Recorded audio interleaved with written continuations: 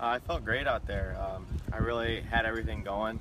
I made a few putts early, made a bunch of birdies, so that was nice to get off to a hot start. And then uh, I, I kept giving myself chances all day, so I think that was really key. And, and this course played a whole lot different today. It was soft, and, but the greens were still running fast. So I think the key was uh, just giving myself lots of birdie chances and definitely got a few putts